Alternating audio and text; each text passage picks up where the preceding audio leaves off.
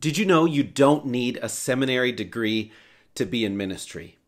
More often than people think, God chooses the weak to shame the strong. Think about John the Baptist.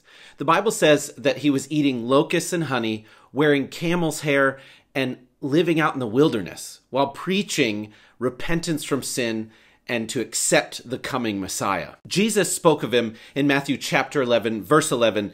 Says, Truly I tell you, among those born of women, there has not risen anyone greater than John the Baptist. In contrast, we have Caiaphas, the high priest in Jerusalem. He had the long robes, the formal education, and the holy temple. Yet Caiaphas murdered Jesus, the Son of God.